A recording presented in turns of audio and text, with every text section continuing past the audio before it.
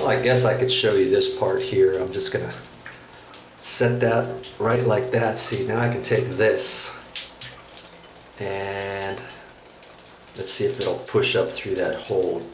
See, it's not it's not really designed to go up there, but but it went.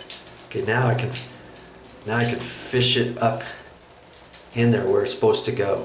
Okay, and I just want to start it and then pull that off.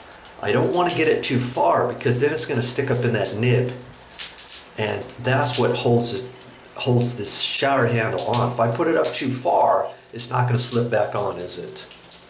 Okay, so now I can kind of look at this and I'm going to have to put this back on.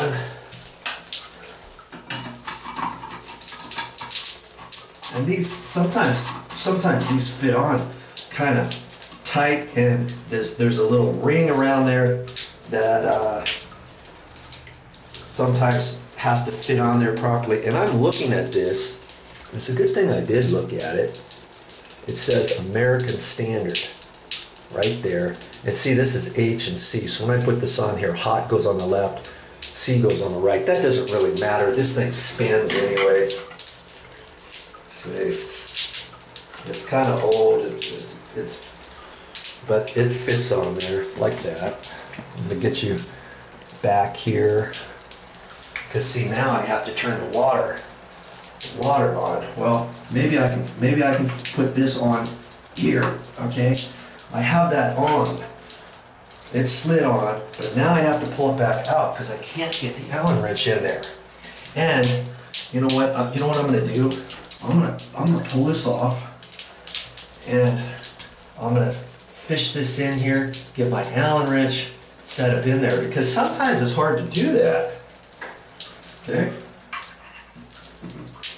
Now I have it on there. See, there's no way I can tighten up this Allen wrench. So I have to lift this out a little bit to get it out far enough. Not hitting my camera, it's getting my tripod wet, but hey.